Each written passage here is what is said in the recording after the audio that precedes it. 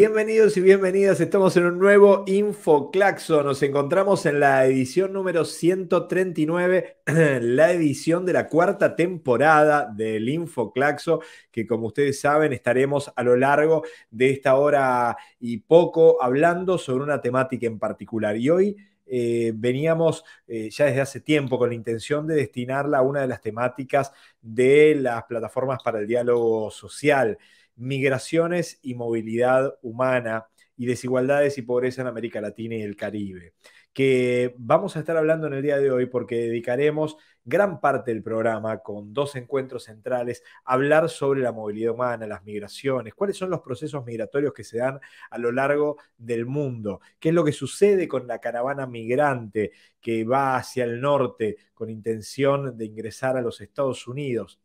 De ahí estaremos puntualizando con un encuentro con Oscar Rodríguez Chávez del COLEF, específicamente desde Ciudad Juárez, México, que nos va a estar hablando y le estaremos preguntando específicamente cuál es el fenómeno, la caracterización del fenómeno migratorio y de movilidad humana en esa región del planeta seguramente la región más impactada por el proceso migrante de México para arriba. Eh, estaremos hablando sobre las situaciones de violencia que atraviesan las y los migrantes en esa región. Y también estaremos recibiendo a Karina Batiani, directora ejecutiva de Claxo, con quien también estaremos hablando y quien nos comentará algunos datos clave para situar la temática de las migraciones y la movilidad humana. Y en el camino estaremos también hablando con Fernanda Pampín, directora de publicaciones de Claxo, y con Juan Pablo Sangüesa, director de la primera Feria Internacional del Libro de las Ciencias Sociales de Recoleta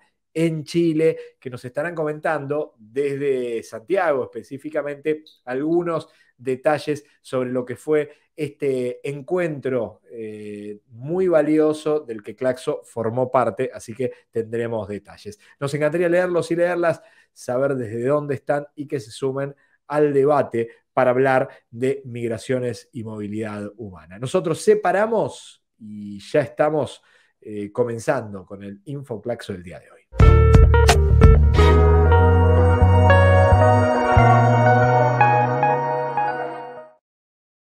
Y en este comienzo de InfoClaxo ya vamos a ir a eh, el tema central. El tema central propuesto para la jornada de hoy tiene que ver con los procesos migratorios, con las migraciones, con los y las migrantes. Y vamos a hablar también de este tema con Karina Batiani, directora ejecutiva de Claxo, y como todas las semanas está aquí con nosotros. Karina, bienvenida, ¿cómo estás tú? Hola Gustavo, como siempre, un gusto saludarte a ti, a todos y todas, miércoles a miércoles, eh, en este tema que nos convoca hoy en torno a la temática de las migraciones. Si te parece, entonces avanzamos con ese tema. Bien. Sí, eh, claramente porque vamos a tener dedicado el, tema, este tema a gran parte del programa y vamos a avanzar dentro de un ratito con un investigador del COLEF de la frontera norte, este, específicamente, digo, a, muy pocos kilómetros de la frontera con los Estados Unidos, como para avanzar en varias cuestiones relacionadas con ese proceso que evidentemente a veces salen los medios de comunicación, esa caravana migrante de Centroamérica hacia el norte, y en otros casos parece ser invisibilizada en lógica medios de comunicación, pero por ahí nos puedes poner en contexto un poco más de los procesos migrantes, caracterizaciones y esas cuestiones. Sí, tal cual. Y como hemos hecho en otras ocasiones, porque es un tema que ya hemos abordado aquí en, InfoClaxo, ¿por qué? Porque es una de las dimensiones eh, de las desigualdades y por supuesto es uno de los ejes estratégicos en torno a los cuales Claxo está trabajando, que viene trabajando en estos años y que se articula ahora en torno a esta propuesta de plataformas para el diálogo social eh, también eh, en torno a la temática eh, de las migraciones y como nos gusta llamarla a nosotros, migraciones y movilidad humana entendidas como un derecho humano, por cierto. Eh, gran parte entonces de las personas que emigran, recordemos, lo hacen generalmente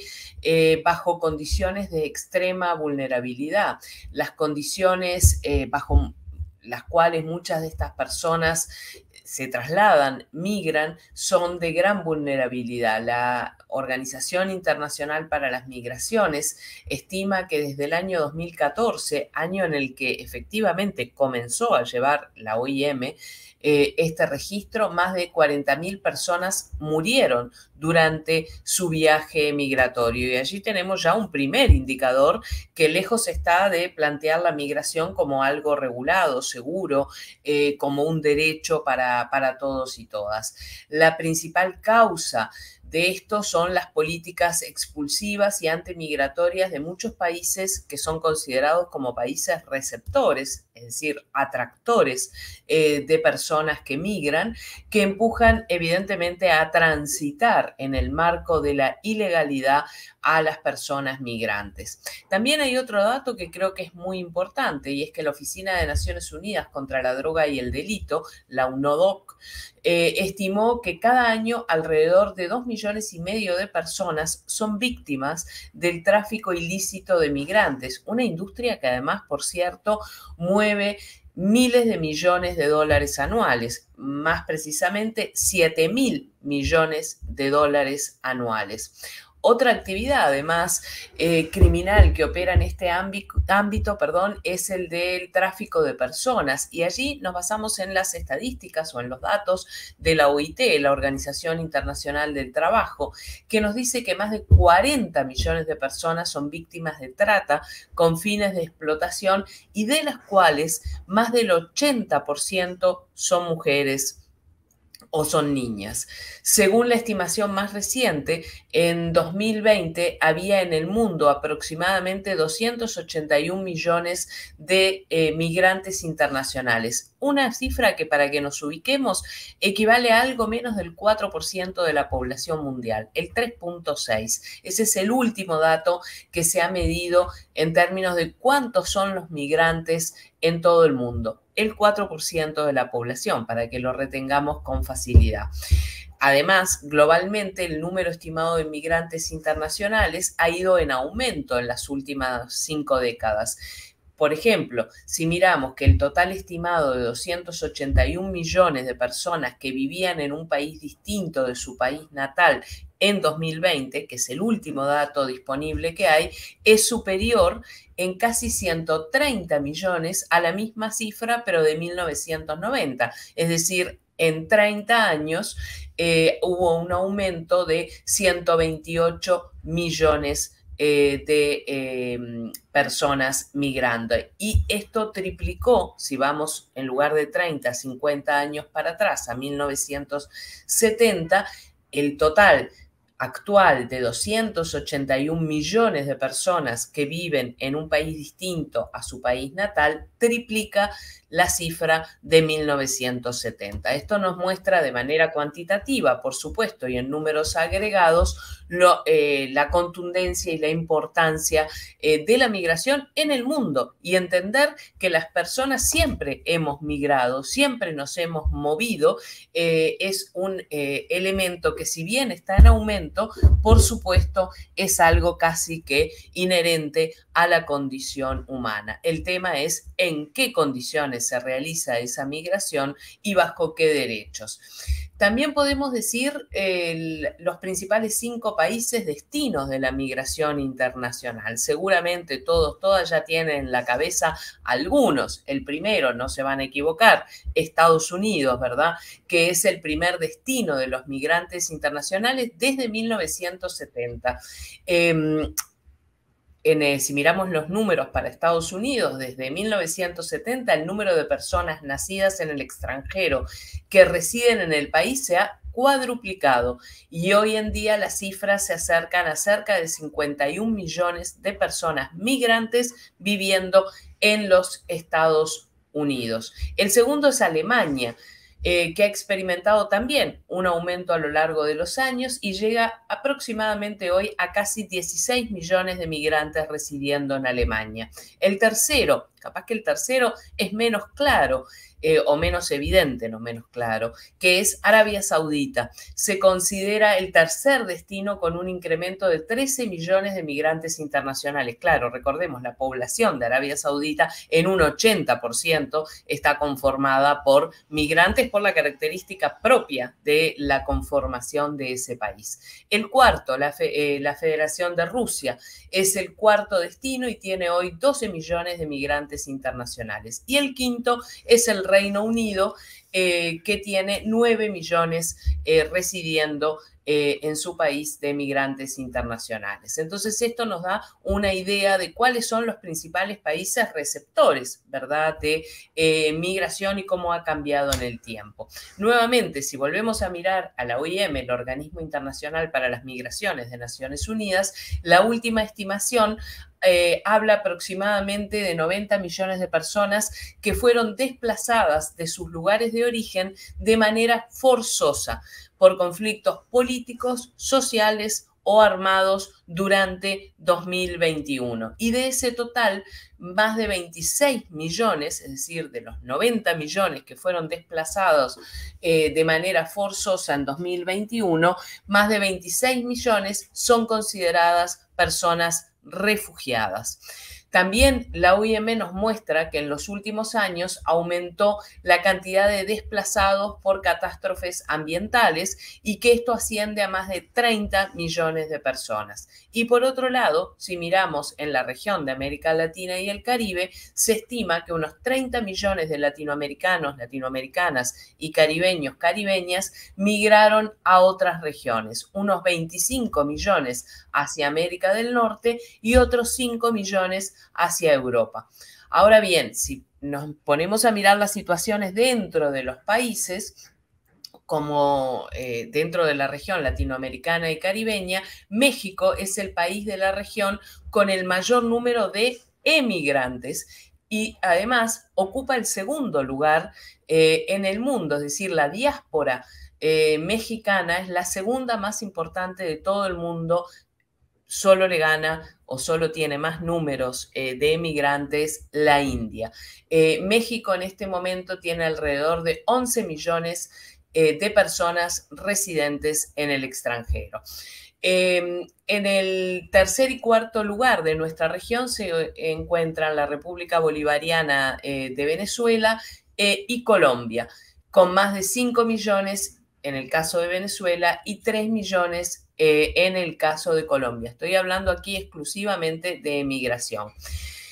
En nuestra región, hoy eh, los desplazamientos de las migraciones de América Central y de Venezuela son quizás los desafíos más importantes desde el punto de vista justamente de la región de América Latina y el Caribe, porque recordemos, la migración desde y a través de América Central obedece a un conjunto de fenómenos vinculados a la inseguridad económica, a la violencia, a la delincuencia y también a factores ambientales y del cambio climático. Solo para ejemplificar, en el caso de América Central, recordemos lo ocurrido eh, en 2020, ¿verdad? Justamente al final del 2020, Honduras, Guatemala y El Salvador tenían cerca de 900.000 personas desplazadas forzosamente, de las cuales más de 500.000 habían cruzado fronteras en lo que se llaman las caravanas migrantes eh, estos movimientos transfronterizos de grandes grupos de personas que se desplazan por tierra eh, y que aumentaron en número y en frecuencia desde 2018 y que por supuesto se han enfrentado a las restricciones que ponen los países receptores o los países de llegada eh, a nivel migratorio, especialmente Estados Unidos, pero también las restricciones en muchos casos impuestas eh, por México. Varios países de nuestro continente presentan una inmigración significativa, especialmente, como dije, los países de América Central y del Caribe, la migración también en América del Sur, pero a nivel intrarregional entre los propios países de América del Sur, es importante eh, ya que, em, digamos, observamos estos movimientos de un país a otro dentro de la región de América del Sur. También Eh, un caso particular es la frontera entre Estados Unidos y México, a la que tú te referías en la introducción, Gustavo, porque es la frontera considerada, la frontera terrestre, considerada más letal del mundo, la terrestre, porque la más letal en sí misma es el Mediterráneo, ¿verdad? Pero bueno, no es terrestre, evidentemente. Esta frontera entre Estados Unidos y México es la más letal de acuerdo a los datos eh, que nuevamente nos da la OIM del 2021. Además, recordemos que venimos de dos años de pandemia y que los cierres de frontera, los requisitos de visados, los requisitos asociados a la salud, a la vacunación, eh, han incrementado eh, esta problemática y han, entre comillas, obligado a muchas personas a emprender migraciones irregulares bajo condiciones, por supuesto, muy eh, penosas. El ejemplo que se pone siempre son los cruces eh, a través de lo que se denomina el tapón del Darién entre Colombia y Panamá, que en 2021 se dispararon a un máximo histórico de casi 134 mil personas en comparación con la década eh, anterior que llegó a algo más de 110 mil. principalmente allí eh, por supuesto, están eh, factores asociados a lo que mencionábamos antes, a estas condiciones por las que se migra y también elementos vinculados a la pandemia. También decir que entre enero y octubre de 2022, y para finalizar con esto, con un ejemplo que quizás no es el que más se considera cuando hablamos de migraciones, pero que me parece particularmente importante resaltar, resaltarlo, es la situación de niños y niñas, ¿verdad? Porque entre enero y octubre de 2022, casi 32 mil niños y niñas justamente atravesaron esta, este tapón del Darier y la peligrosa eh, selva del Darier entre Colombia y Panamá. Eh, bueno, allí, como sabemos, los retos son eh, casi casi eh, imposibles de superar, ¿verdad? Durante el camino, además, se interrumpe el acceso a servicios y a derechos básicos para todas las personas y para los niños y niñas, que incluye, además de los derechos básicos que todas y todos tenemos, el derecho a la educación que se ve interrumpida también durante eh, este tránsito. Y por supuesto están expuestos a un sinfín de amenazas, de violencias, de discriminaciones. Eh, allí eh, quería resaltar esta situación particular porque es algo que no solemos mencionar cuando hablamos de migraciones, aunque sabemos que estos niños y estas niñas también migran junto a sus núcleos familiares e integran eh, estas caravanas que tanto eh, nos preocupan. En definitiva, y para finalizar, Gustavo, una vez más recordar la migración y la movilidad humana como un derecho humano. Y la migración y la movilidad humana como un derecho humano significa, por supuesto, poder realizarla en condiciones de seguridad y en condiciones eh, de respeto de todos los derechos y no como está ocurriendo hoy en nuestra región, en muchos casos en que la migración se realiza en condiciones de extrema vulnerabilidad y con consecuencias muchas veces dramáticas como son incluso la pérdida eh, de vidas en estos procesos. Te escuchaba, Karina, y pensaba, digo, la cantidad de temáticas eh, adjuntas y, que van de la mano de los procesos migratorios y de las migraciones en general, ¿no? Porque tú comentabas las cuestiones relacionadas con eh, niños, situaciones de vulnerabilidad de las mujeres, eh, situaciones de, de, desigualdad brutales, de falta de acceso a las cuestiones más básicas, no solo en el proceso migrante, eh, sino en la llegada de estas postas que van teniendo en varios lugares. En un ratito estaremos hablando con Ciudad Juárez, ¿no? Una posta antes de los Estados Unidos, donde el marco de las desigualdades es, tremendo y se da también eh, en los lugares de contención en algunos casos, pero que igualmente tienen que estar escondidos, escondidas, esperando la posibilidad de cruzar hacia Estados Unidos, digo, en condiciones a veces muy lamentables. Totalmente, todos los factores que tú mencionaste, a los que yo agregaría además eh, la violencia que se da en estos procesos migratorios, eh, violencias y condiciones de inseguridad para todos, para todas, pero que sin duda, una vez más allí, las más afectadas son las mujeres y los niños y las niñas. Y también en términos ya no del proceso de migración, sino eh, del, bueno, a la llegada a los destinos eh, que se eligen como, como, derecho en esta movilidad este, humana, eh, los procesos de inserción laboral, ¿verdad? De retorno a los sistemas educativos en el caso de niños y niñas y de inserción laboral para las personas adultas. Inserción laboral, que como sabemos es otra dimensión allí de la desigualdad, porque suelen ser estas personas migrantes las que son empleadas en condiciones de precariedad laboral, en condiciones de ausencia total de protección social, con muy bajos salarios eh, y prácticamente, por lo menos al inicio de estos procesos, eh, sin ningún derecho asociado. Entonces, eh, tenemos que, que analizar este tema que, por supuesto, además está atravesado por otras dimensiones de la desigualdad que hemos analizado aquí y una de ellas es la vinculada a los ingresos. Evidentemente, estas situaciones que estamos refiriendo y que son la mayoría de los contingentes migrantes en nuestra región son personas de bajos ingresos y que migran para buscar mejores oportunidades, mejor calidad de vida, mayor bienestar. Y es sobre esas personas que ocurren estas, eh, digamos, sumatorias de dimensiones de desigualdad en los procesos de migración y en las reinserciones eh, en los lugares de destino. Karina, eh, ahí estábamos viendo algunas imágenes, algunas muy, muy impactantes del tapón del Darién, y lo que son esas travesías que tú recién eh, relatabas y que en tus palabras íbamos siguiendo, el dramatismo que tiene esas situaciones y la vulnerabilidad absoluta. Te llevo a otro tema porque sé que eh, a partir de mañana y de pasado comienzan actividades en diferentes lugares. Específicamente tenemos que hablar primero de República Dominicana y después de Cuba. ¿Esto es así? Exactamente, Gustavo, estamos este, ya casi eh, saliendo para, para, mm, República Dominicana y para Cuba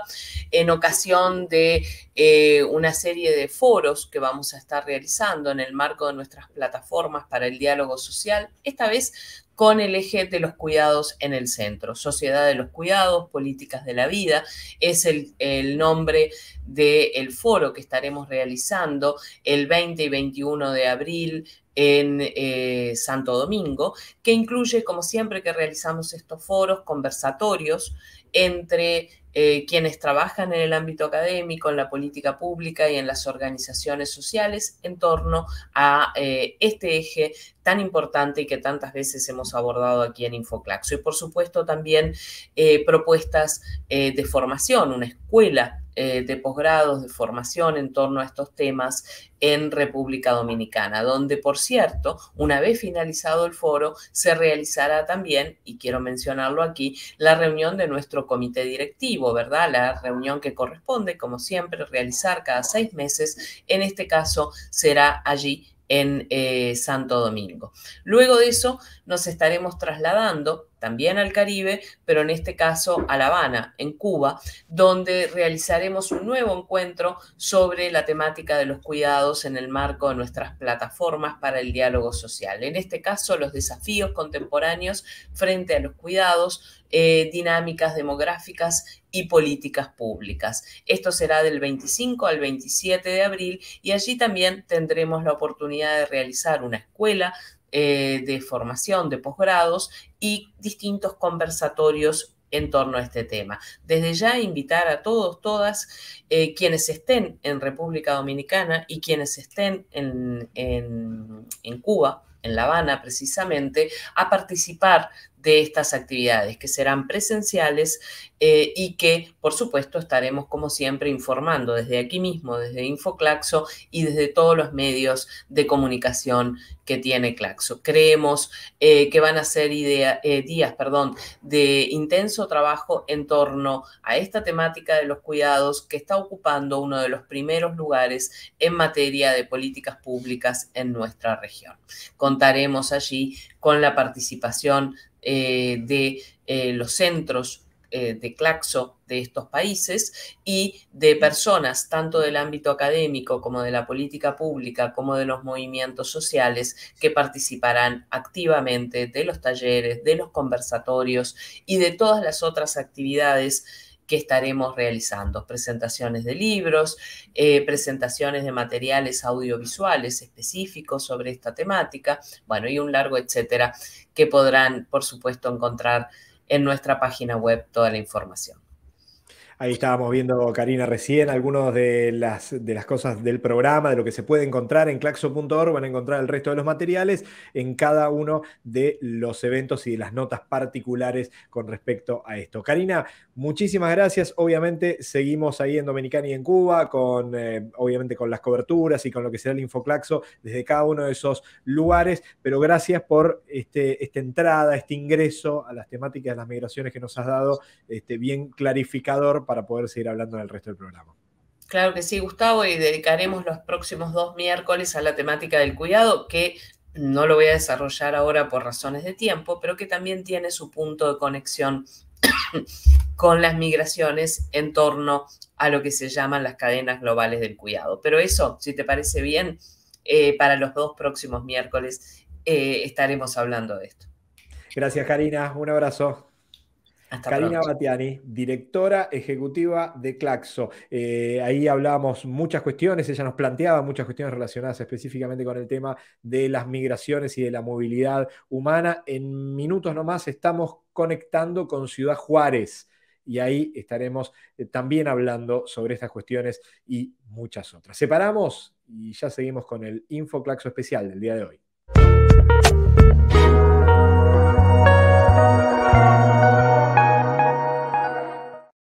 Y continuamos con el Infoclaxo, lo decíamos al inicio del programa, es la posibilidad de dedicar la entrevista central a hablar de los procesos migratorios. Y obviamente cuando uno habla de procesos migratorios eh, están las complejidades y las características particulares que, particulares perdón, que hay en cada lugar de nuestra América y en otras partes del mundo. Hoy intentaremos focalizar en México y los procesos migratorios. México eh, como lugar de paso hacia Estados Unidos, México como lugar de residencia para migrantes centroamericanos. Eh, ¿Cuánto de esto mm, se modifica a lo largo del tiempo? ¿Qué fue cambiando? Las políticas relacionadas con migraciones o con, eh, en algunos casos, que parecen alentar el bloqueo decididamente, en otros casos cómo se involucran con las políticas internacionales relacionadas, por ejemplo, entre México, Estados Unidos, pero también en relación con el resto de los países, eh, en este particular de Centroamérica. Eh, ¿Cuánto de esto tiene relación? por ejemplo, con la violencia criminal sobre los, flujos migratorios que se dan en mujeres y en varones eh, femeninos y masculinos que deciden migrar a lo largo de esa enorme frontera que hay entre México y los Estados Unidos. Bueno, de esto y otras cosas intentaremos avanzar en la entrevista del día de hoy, por eso le damos la bienvenida a Oscar Rodríguez Chávez, él es integrante del COLEF, está desde Ciudad Juárez, eh, México. Oscar Rodríguez Chávez es doctor en estudios de población por el Colegio de México, se encuentra adscripto al Departamento de Población del COLEF, participa en la red académica Seminario Migración, Desigualdad y Políticas Públicas del Colegio de México y actualmente lleva a cabo el proyecto de investigación Efectos diferenciados de la violencia criminal sobre los flujos de migración femenina y masculina en México, eh, de México, perdón, del 2005 al 2020. Oscar, bienvenido al Infoclaxio, muchísimas gracias por estar aquí en el programa. Muchas gracias, Gustavo. Gracias por la invitación. Eh, siempre es un placer hablar con la gente del COLEFA, a quienes les tenemos un afecto enorme y sabemos del enorme trabajo que llevan adelante desde hace muchísimo tiempo eh, y que han desarrollado eh, muchas posibilidades gracias a la investigación para poder analizar el efecto migratorio que se da entendiendo a México como uno de los lugares centrales donde el proceso migratorio es enorme, como lugar de paso, como lugar de tránsito, como lugar de estadía, eh, ¿Cómo caracterizarías, este, Oscar, el proceso migratorio en México? Pues yo, considero este, que es un, México es un país muy diverso, en donde confluyen distintos flujos migratorios, como tú dices, de tránsito, de destino, de retorno, de origen, de migración, y además de distintos tipos de migraciones, porque estamos, como tú bien lo dices, hablamos tanto de migraciones tradicionales o lo que podríamos llamar migraciones tradicionales eh, este, asociadas a, a, cuestiones económicas, a cuestiones laborales, familiares, de reunificación familiar, pero también eh, en años recientes o más bien eh, se ha intensificado en, últimos años eh, migración o desplazamientos forzados, tanto internos como internacionales, de población que está huyendo de la, inseguridad, de la violencia, de una infinidad de riesgos y de, vulnerabilidades que las personas están sufriendo en sus lugares de, origen, tanto en México como en otros países de, América, y que intentan llegar ya sea a México o a, los Estados Unidos en busca de una mayor seguridad. Todo esto ha, ha, hecho muy complejo el tema y particularmente lo ha hecho complejo en las fronteras sur y, norte de México. Si bien, como tú dices, el COLEF se ha caracterizado por hacer este, investigación sobre migración, pues esta ha, sido focalizada particularmente en la frontera norte, donde tenemos un mayor bagaje y conocimiento al respecto, pero que también hemos visto el incremento considerable, abrumador, de la, de la población o de, de, los migrantes que están este, quedándose atrapados en la frontera sur con muchas vulnerabilidades y riesgos y sin la posibilidad de poder cruzar más allá o de poder continuar con sus procesos de, refugio en México para aquellos que lo solicitan, dado que también hay limitantes que los obligan a permanecer en, en estas regiones del país. Eh, Oscar, en este camino, y a lo largo del tiempo, entiendo que las caracterizaciones con respecto a los procesos migrantes han sido diversas, inclusive con gobiernos de distinto signo político eh, en México. Eh, a ver,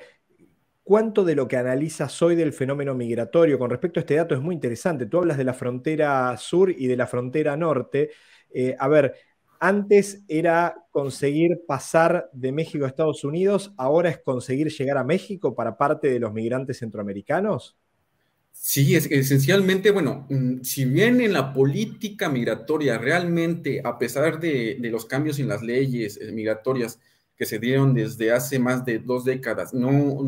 este, no se han dado en términos reales cambios significativos entre los últimos tres gobiernos, por lo menos, eh, lo que sí estamos viendo es, eh, un crecimiento de las barreras, tanto políticas como del propio sistema migratorio, ah, trátese del Instituto Nacional de Migración y de policías, este, policías estatales o otras instituciones de seguridad que han, eh, han este, provocado mayores barreras a, su libre tránsito de las personas a lo largo del territorio nacional y que mm, particularmente se concentran en la en frontera sur, como ya los medios y, muchos videos lo han, mostrado, con las vejaciones y con todos estos este, lamentables hechos que, han ocurrido tanto en el sur como en, la frontera norte, del país, pero que eh, hacen a, México más que un país de, libre tránsito, un tapón para que la población este, de Centroamérica y, de otros países no logre llegar a, los Estados Unidos. Todo esto, pues, bajo la, este, la, el, liderazgo, o, por así decirlo, eh, este, bajo la, la, actuación del gobierno de los Estados Unidos, que pues ha pues, impuesto propiamente medidas o, este ataque, sí, medidas para, que el gobierno mexicano acepte las condiciones y no, no permita el libre tránsito de, las personas. Eh, Oscar, eh, en todo este proceso, qué fue pasando con la cantidad, del número total de migrantes a lo largo del tiempo. ¿Cuáles fueron esas fluctuaciones y en qué momento de numérico nos encontramos al día de hoy en,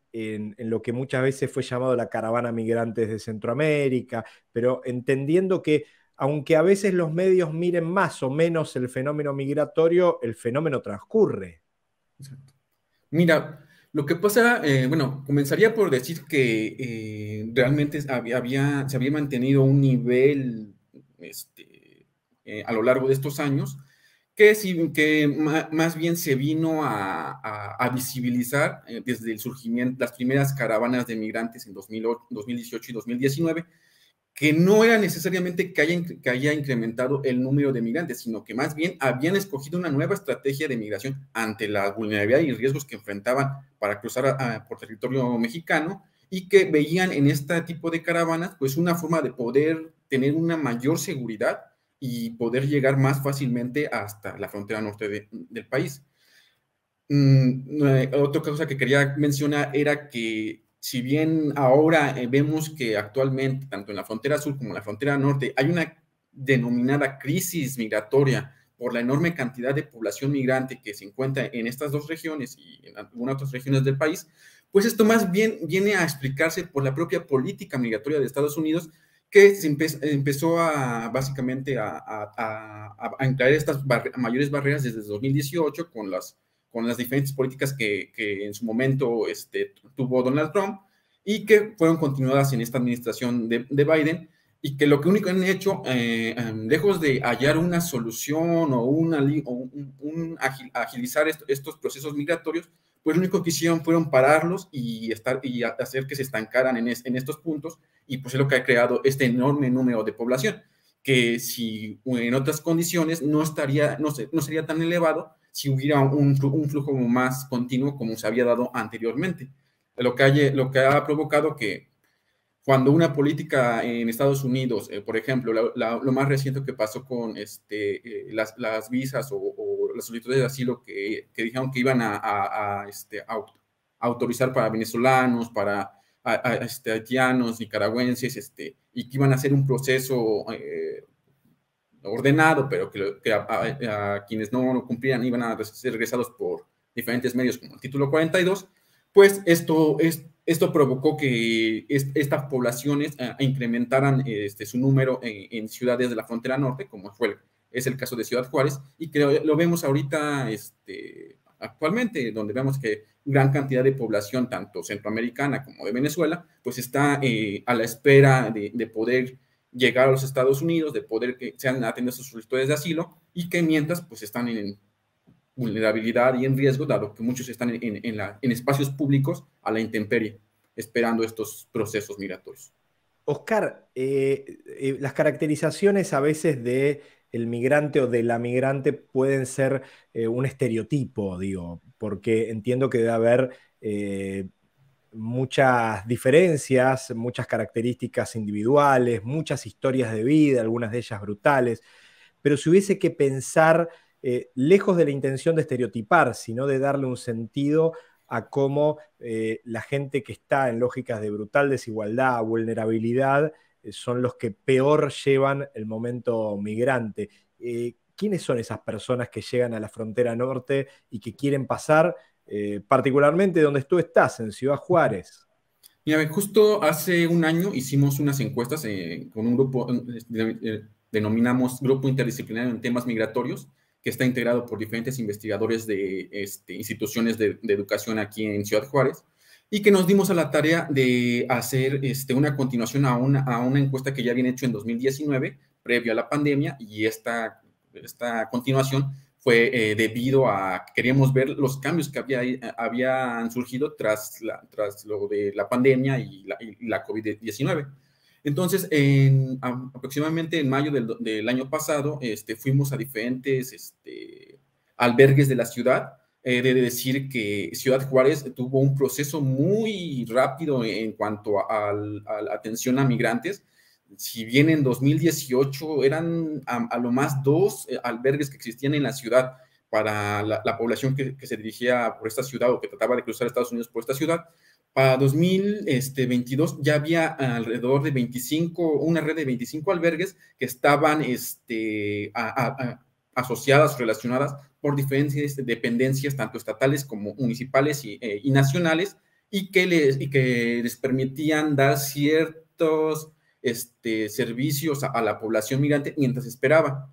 Pero bueno, eh, esto a, lo que me lleva fue que hicimos estas encuestas para conocer las características de la población y lo que hallamos fue que eh, particularmente, dadas las características de la encuesta, dado que fue en, estos albergues, la población se caracterizaba en su momento por ser mayoritariamente de población este, internacional, dado que confluyen este, migrantes internos con migrantes internacionales, y procedían particularmente de, países como Guatemala, El Salvador, este, Honduras, y había, un, bueno, en ese, en ese momento no había un reflejo importante de, la, de los venezolanos y, ah, un poco, y poco de haitianos que todavía había de, de, periodos anteriores. Eso cambió ah, radicalmente. A finales de 2019 se hizo otra encuesta diferente para otro propósito este,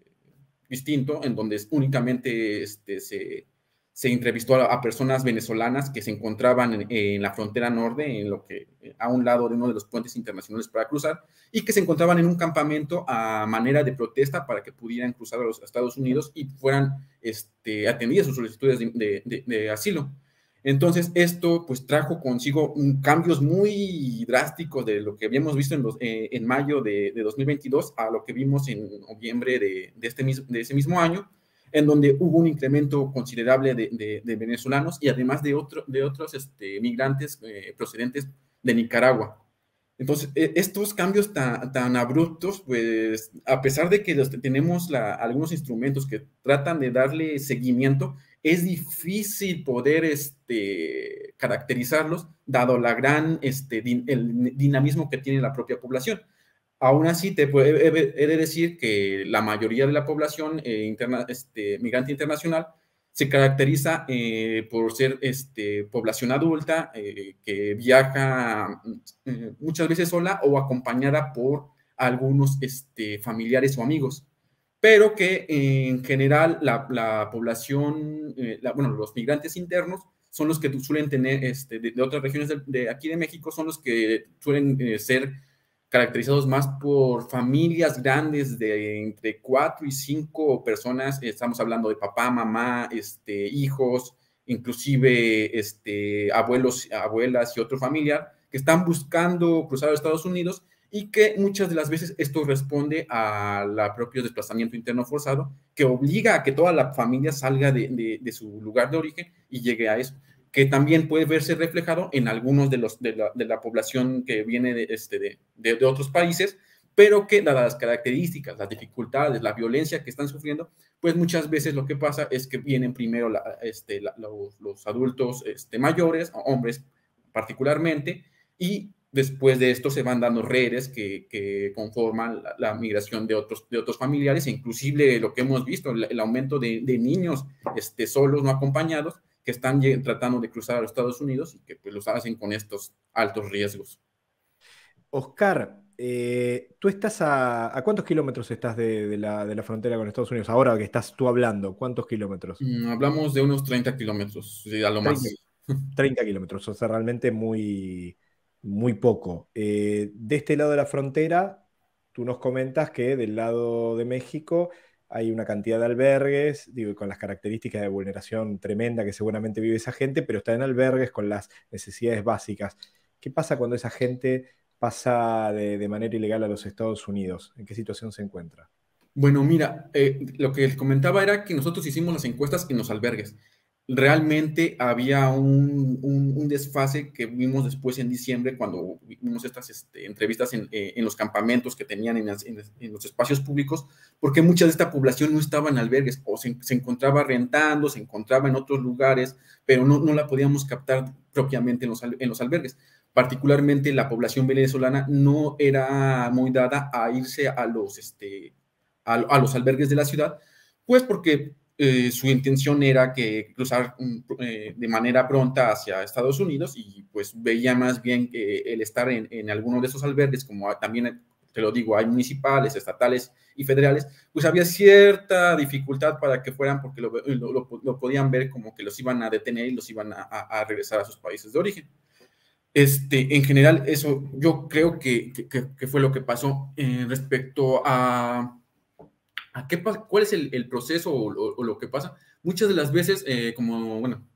eh, para, las personas que, son de, México, lo que pasa es que una vez que cruzan a, Estados Unidos, en, su gran mayoría durante 2000, desde 2020 hasta eh, estos últimos meses, se había aplicado el denominado título 42, que era una expulsión inmediata, aludiendo a cuestiones de salud por la pandemia de la COVID, que decía Estados Unidos que pues era una cuestión de salud nacional y que por tanto no permitía a las personas ni siquiera eh, en situación de solicitud de asilo a poder hacer esas solicitudes porque decían que, que, no, que tenían que pagar la pandemia y por tanto los devolvían este, sin ningún, mm, sin nada más. Entonces, esto lo, violentaba sus derechos, les negaba el derecho a no ser, a no ser regresados y además a, poder solicitar este tipo de asilo. Eh, una vez que regresan, muchos de ellos, pues, vuelven, eh, bueno, los que se encontraban en los albergues volvían a, intentar a, regresar a los albergues, pero otros decidían desplazarse a otros lugares. Inclusive cuando mm, lo que pasa, está pasando en, o hemos documentado en, en últimos años, es que se está dando una deportación este, eh, diagonal. Es decir, eh, la población migrante entra por Juárez o El Paso a Estados Unidos y no son devueltos por El Paso, son devueltos por Matamoros, por Nuevo León, que son este, otras entidades del país, en donde esta población no tiene ningún conocimiento, de, por sí no conocían en Ciudad, en Ciudad Juárez, ahora retornar, eh, devolverlos por otro lugar, en donde no, tienen ninguna conexión, en donde son ciudades que, lamentablemente en, los últimos años se han vuelto más violentas, pues eso también genera mucho más precariedad y más vulnerabilidad para, estas para esta población. Lo que encontramos en la encuesta fue básicamente que había un porcentaje alto de los que habían intentado cruzar a, Estados Unidos, sobre todo de, población este, internacional, extranjera, que no habían llegado por su voluntad a Juárez, sino que habían tratado de cruzar por otros puntos, por otros puntos este, de la frontera norte con de México y habían sido devueltos a Juárez sin el menor, menor conocimiento sobre la ciudad y sobre cómo iban a seguir procediendo sus solicitudes de asilo, puesto que no se les dio ninguna respuesta, únicamente fueron devueltos sin, sin más. Eh, Oscar, vemos ahí una vulneración tremenda, porque digo, doblemente la, situación ya de la dificultad para ver cómo logran pasar y después encima son expulsados a través de otro lugar con la clara intención de que, de que de tratar de vulnerar por lo menos el lugar conocido que tenían previamente, que podía ser en este caso Ciudad Juárez. Tú hablabas al pasar de las cuestiones de violencia, eh, escuchamos en varias ocasiones, lamentablemente, situaciones de, violencia muy grandes en, Ciudad Juárez. Eh, entendemos que es un gran tema el tema de la inseguridad en, Ciudad Juárez y de la violencia eh, criminal. ¿Qué efecto tiene esto sobre los flujos migratorios de México hacia los Estados Unidos? Las redes violentas cooptan, agarran, seleccionan gente para la utilización, este, gente que está vulnerada y que necesita una oportunidad como sea, y son cooptados por redes de, violencia criminal. ¿Cómo funciona esto? Y en todo caso, explícanos qué significa esto en el marco de las violencias que hay ahí. Bueno, mira, se ha documentado eh, diversos casos de, personas que tras haber sido liberadas o haber sido detenidas, pues lo que han encontrado es que ah, eh, en México hay un, digo, hay ciertos eventos que se han hecho muy este, mediáticamente este, conocidos, pero pues quedan detrás muchos otros que pasan a diario y que al no haber un video, al no haber algo que, lo sustente, pues parecía que, no sucediera. Sin embargo, pues lo que vemos es que eh, la migración o las rutas de, migración están muy ligadas a las, a las rutas que los grupos de narcotráfico ocupan para, para tanto para este,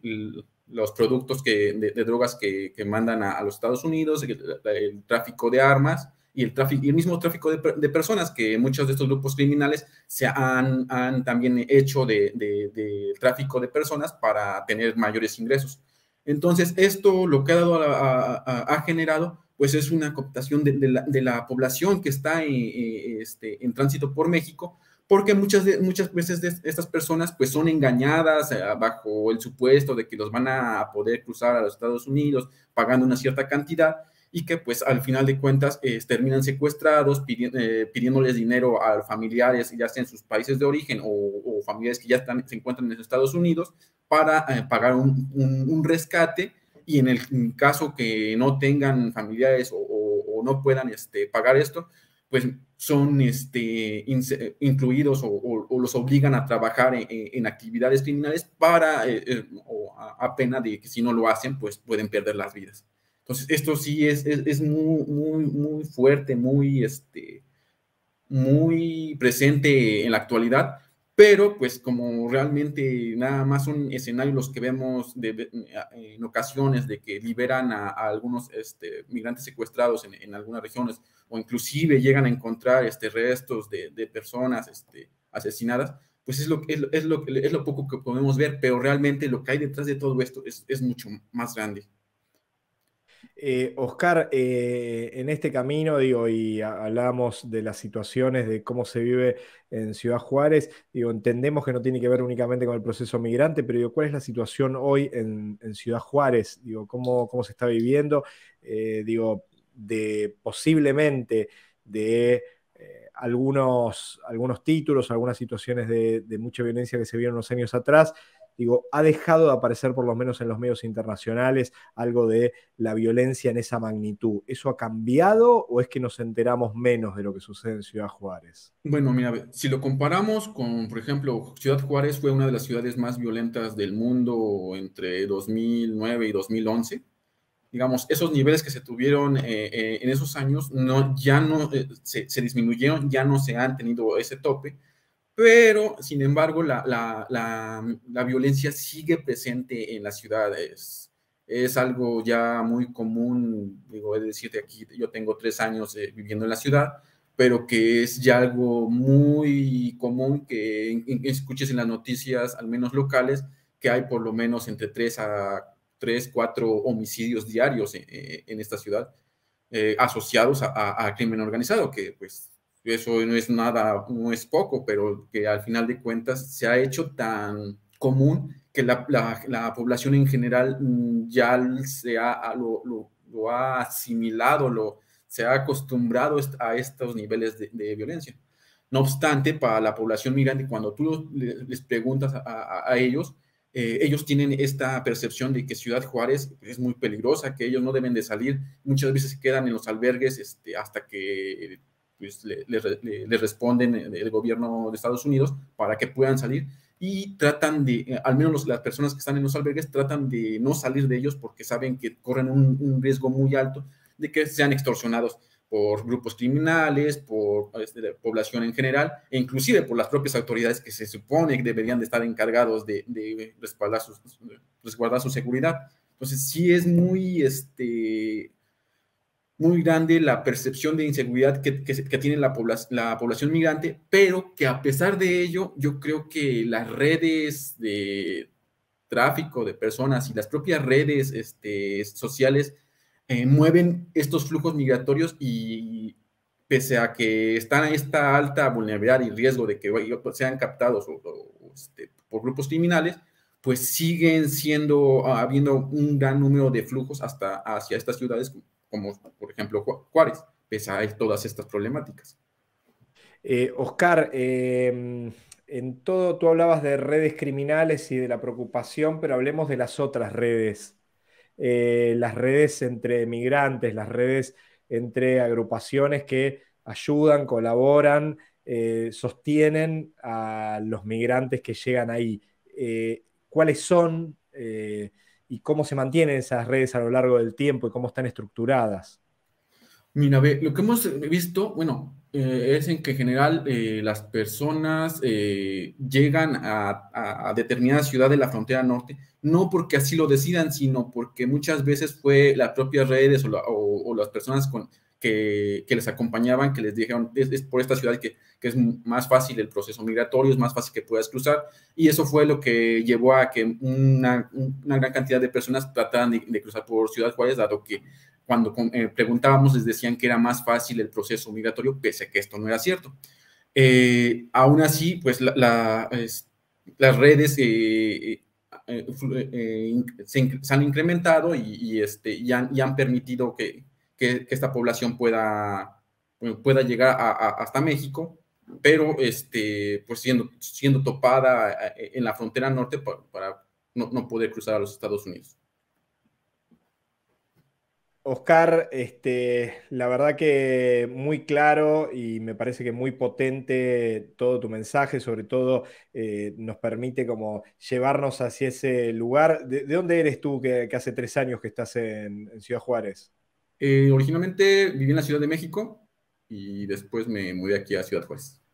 Eh, por, cuestiones profesionales para poder trabajar en relación a los procesos migratorios? por, cuestiones familiares, profesionales y también porque desde hace un tiempo ya estudio desplazamientos internos forzados y pues eh, Juárez también era en 2009 a 2011 estaba el fenómeno inverso, en donde veíamos que una gran cantidad de población, dado los altos niveles de violencia, se estaba yendo de la ciudad o estaba migrando hacia El Paso, Texas, para salvaguardarse de, la violencia. Y que ahora vemos que esto se ha invertido, pese al aumento de la violencia en Juárez, también ha aumentado la violencia en otras regiones del país y esto ha provocado que muchos traten de llegar a Estados Unidos y pues también se vean aquí atrapados en la ciudad mientras están esperando sus procesos.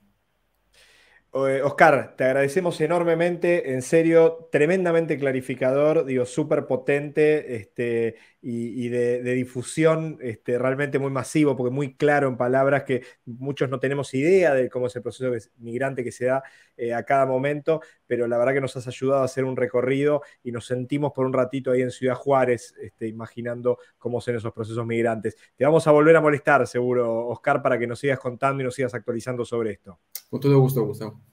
Muy bien. Oscar Rodríguez Chávez estuvo aquí con nosotros del COLEF desde Ciudad Juárez en México. Es doctor en estudios de población por el Colegio de México y realmente tremendamente claro y clarificador para entender eh, estas temáticas. Separamos y ya seguimos con el Infoclaxo del día de hoy.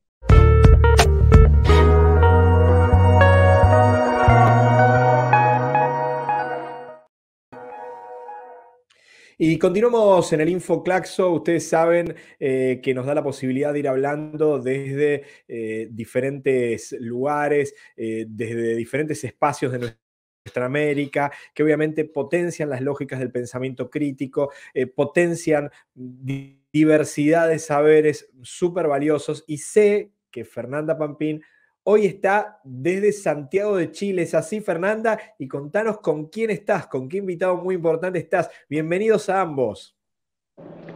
Hola, muy buenas tardes, Gustavo. Estamos desde Santiago de Chile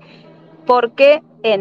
estamos acá por la Feria Internacional del Libro de Ciencias Sociales de Recoleta, la primera feria de este tipo que se realiza en Chile con una potencia enorme de invitados nacionales, internacionales, actividades, presentaciones de libros, firma de ejemplares, un verdadero núcleo para el pensamiento crítico en América Latina. Y me acompaña aquí en Juan Pablo Sangüesa, coordinador general de, de la feria. Bienvenido, Juan Pablo. Gracias, Fernanda. Hola, compañeros, compañeras. Un gusto estar acá compartiendo con ustedes esta programación. Eh, a ver, Juan Pablo, Fernanda, felicitaciones porque sabemos de la repercusión de, este, este, encuentro eh, y realmente que es muy importante. El lugar elegido también para la realización de esta Feria Internacional del Libro también es muy valiosa, pero bueno, hay una referencia entonces que tú nos puedas dar eh, y que, que, nos diga digo, cómo, cómo, viene, cómo fue saliendo, cuál es el impacto, Juan Pablo, de la realización de esta Feria Internacional del Libro. Bueno, eh, sí, como, como, Fernanda lo dijo, la, feria convocó eh, a los pensadores nacionales más relevantes, tanto actuales como eh, de, históricos, ¿no? Pasaron por la feria cinco premios nacionales, pasaba un premio iberoamericano, pero asimismo también se convocaron figuras internacionales de gran relevancia, ¿no? hemos tenido paneles que han buscado pensar los 50 años, esta feria se enmarca en los 50 años del golpe de Estado en Chile, pero no para pensar el golpe, sino para pensarnos desde el golpe hacia el futuro, ¿no? De qué manera podemos pensar las nuevos enclaves democráticos, de qué manera podemos poner en relevancia, ¿cierto? Eh, la democracia, hoy que está siendo tan cuestionada y pareciera que las condiciones que generaron en algún momento el quiebre democrático hoy día se ven cercanas. Por tanto, creemos que eh, ello lo vamos a resolver juntándonos, conversando, pensándonos y, por cierto, eh, pensándonos en, una línea de acción transformadora. y de allí que es muy necesario recoger a quienes nos han pensado durante 20 años, pero también a quienes hoy día están pensando el futuro de Chile. Hay muchas voces jóvenes que debutaron en esta, en esta feria. Tratamos de incorporar también editoriales de los, de los más variados tópicos eh, abocados a las ciencias sociales y logramos también, por cierto, eh, contar con la solidaridad continental, donde viajaron diversas eh, voces, diversas mentes ¿no? de, de, nuestro continente y de Europa también, ¿por qué no decirlo? ¿no? así que bueno,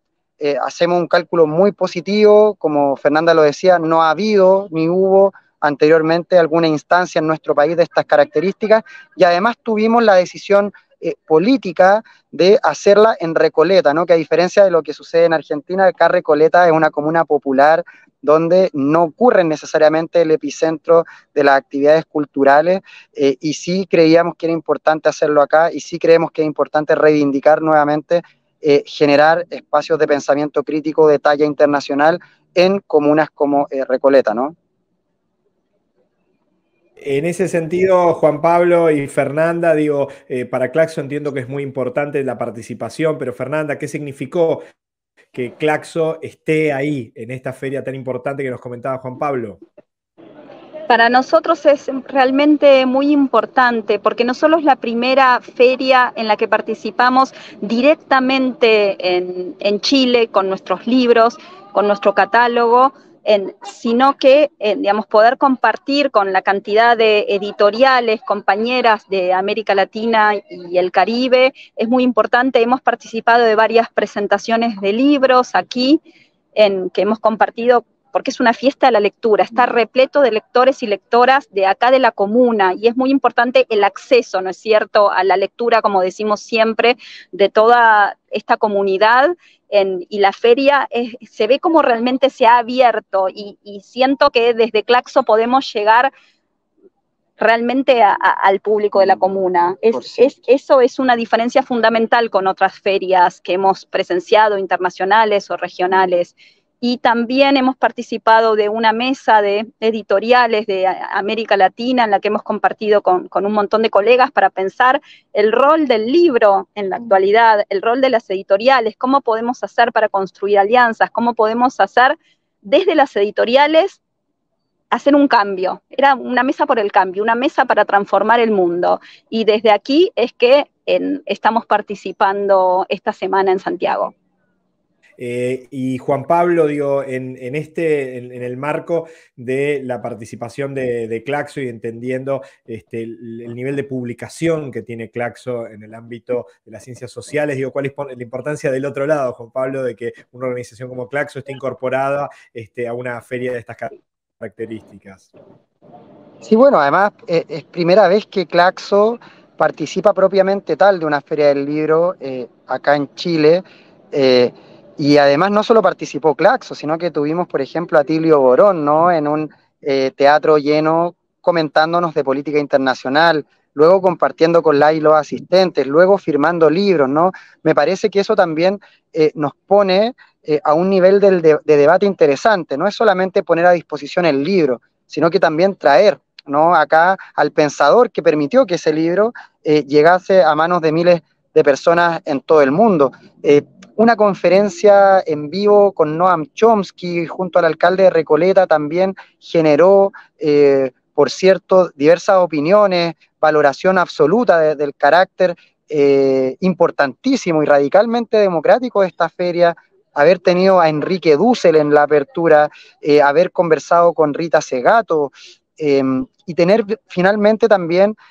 una oferta cultural importante, ¿no? Se sumó incluso eh, el, consulado de Bolivia acá en Chile con actividades, con la editorial de la eh, vicepresidencia, hemos tenido mesas de infancia, hemos tenido mesas de feminismo popular, hemos tenido mesas de ecología, hemos tenido mesas de rescate histórico, de rescate patrimonial, de pensamiento latinoamericano, hemos tenido voces importantes como Vijay Prachad, ¿no? que desde la India vino y viajó para poder estar presente en la feria. Por tanto, me parece que hoy día se fortalece la idea de los diálogos sur-sur, se fortalece la idea ¿no? de un pensamiento situado latinoamericano, pero que también incorpore a las distintas voces eh, que han estado pensándonos eh, para la transformación, que incorpore a las distintas mentes que han estado iluminando, por cierto, eh, los cambios de las últimas décadas, pero que también nos han permitido ir pensando que es posible cambiar las cosas, que es posible. A 50 años del golpe de Estado acá en Chile y más o menos se cumplen de manera contemporánea fechas conmemorativas en nuestro continente, es posible fortalecer nuestros criterios democráticos, es posible retomar los proyectos populares que fueron truncados por los autoritarismos y los golpes de Estado para eh, reivindicar, ¿cierto?, las sociedades democráticas, para reivindicar las organizaciones del campo popular como eh, la mejor herramienta para los pueblos, ¿no? El, Chicho decía, la historia es nuestra y la hacen los pueblos. Bueno, en ese, en esa, eh, en ese ánimo es que eh, generamos este tipo de instancias que esperemos que sea la primera de muchas, ¿no? Eh, por algo ponemos la primera feria internacional y no la feria internacional del libro de las ciencias sociales. Ponemos la primera porque queremos llevar la numeración de todas las que vengan después y donde precisamente esperamos contar con todas las voces que Claxo también eh, ha puesto en relevancia y ha fomentado y promovido para el pensamiento latinoamericano y caribeño. Eh, en ese camino y entendiendo esta lógica maravillosa que tú dices, Juan Pablo, de, futuro, de, pensar en futuro también, digo, la gente puede acceder de alguna manera a estos materiales, se van a generar otros contenidos con algunas de estas charlas, de estos encuentros, porque entiendo que ahí debe haber material valiosísimo para que pueda circular más allá de los que tuvieron la suerte de poder estar en esos auditorios. Sí, por cierto van a ver, primero, en, términos eh, virtuales, se pueden acceder a todas las charlas a través de las redes de FIL 2023, ¿cierto? FIL o FILX 23, eh, en YouTube, en Instagram, Facebook y Twitter. Asimismo, se pueden seguir algunas de las charlas que han sido transmitidas a través de nuestros medios asociados, El Ciudadano, La Voz de los que Sobran, Interferencia y Radio Diario Universidad de Chile,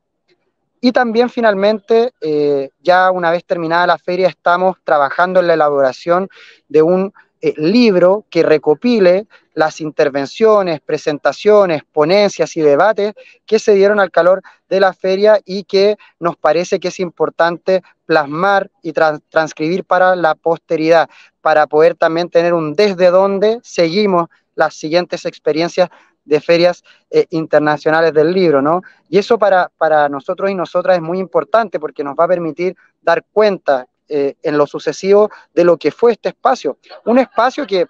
eh, es tan importante en los momentos además constituyentes y destituyentes que estamos viviendo en Chile, donde tuvimos mesas que contaron con la participación de Jaime Baza, quien fuera vicepresidente de la Convención Constitucional, y de Elisa Loncón, la primera presidenta de la Convención Constitucional, mujer mapuche, académica, destacadísima a nivel internacional. Y bueno, eso se logró eh, convocar en, en un solo lugar, que es Recoleta, en una sola instancia, que es la primera Feria Internacional del Libro, pero esperemos que se pueda replicar, duplicar y multiplicar de aquí a los años siguientes a través de los materiales visuales, materiales eh,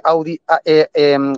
gráficos también y por cierto las publicaciones escritas que esperemos sigan proliferando a propósito de esta instancia, ¿no? Juan Pablo, eh, cuenten con, todo el apoyo comunicacional de, Claxo para, para, seguir difundiendo, para seguir potenciando todo esto que realmente es muy valioso y realmente se pusieron en marcha es, muy impactante y muy positivo ver los niveles de impacto que, tuvo este encuentro. Así que felicitaciones porque sabemos y entendemos todo el trabajo que hay detrás para llegar a un momento así. Así que eh, buen descanso para lo que venga y con la hermosa proyección de futuro para, para el próximo encuentro. Fernanda, también un placer. ¿eh? Gracias por, por, este, por este lujazo de poder traernos a, a Juan Pablo y hablar unos minutos con ustedes dos desde ese lugar que envidio sanamente a la distancia y que esperemos que la próxima también nos tenga eh, incluidos ahí charlando presencialmente. Bueno, muchas gracias Gustavo y nos vemos muy pronto. Nos vemos. Muchísimas gracias a ambos. Fernanda Papín, Juan Pablo Sangüesa, aquí con nosotros en este Infoclaxo del día de hoy, muy especial desde Santiago de Chile, eh, cubriendo esta feria de, internacional del libro, realmente muy, pero muy valiosa. Ahí estamos viendo parte de las publicaciones y el nivel de impacto que tuvo, que obviamente también vieron en redes sociales de Claxo, a seguir y a buscar estos contenidos que también compartiremos, que nos comentaba Juan Pablo recién, porque valen y mucho la pena. Dividimos y seguimos con el Infoclaxo del día de hoy.